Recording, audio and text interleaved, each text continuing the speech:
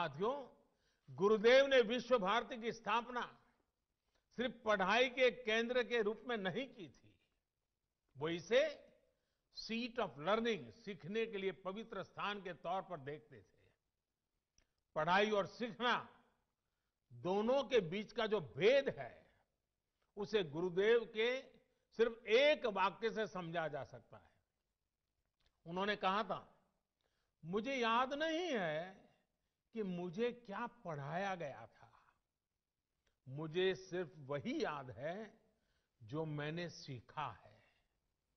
इसे और विस्तार देते हुए गुरुदेव टैगोर ने कहा था, सबसे बड़ी शिक्षा वही है जो हमें न सिर्फ़ जानकारी दे, बल्कि हमें सबके साथ जीना सिखाए। उनका पूरी दुनिया के लिए संदेश था कि हमें नॉलेज को एरियाज़ में लिमिट्स में बांधने की कोशिश नहीं करनी चाहिए। उन्होंने यजुर्वेद के मंत्र को, विश्व भारती का मंत्र बनाया। यत्र विश्वम भवत्येक नीड़म जहाँ पूरा विश्व एक नीड बन जाए, घोंसला बन जाए। वो स्थान जहाँ नित नए अनुसंधान हो, वो स्थान जहाँ सब साथ मिलकर आगे बढ़े।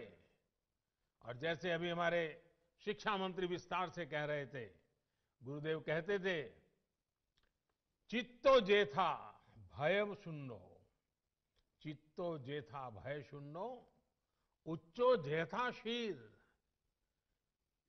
ज्ञान जेथा मुक्तो, यानी हम एक ऐसी व्यवस्था खड़ी करें, जहाँ हमारे मन में कोई डर ना हो, हमारा सर ऊँचा हो और ज्ञान बंधनों से मुक्त हो।